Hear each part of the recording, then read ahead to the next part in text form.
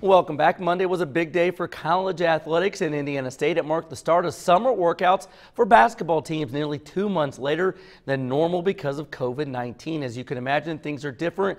Athletes have to check in with trainers and health officials before the start of workouts. Everything has to be sanitized before and after use, including the basketballs.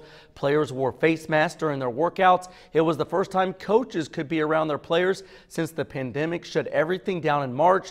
The players say they are happy to be back on the court and trying their best to learn all the new rules that come with playing during COVID 19.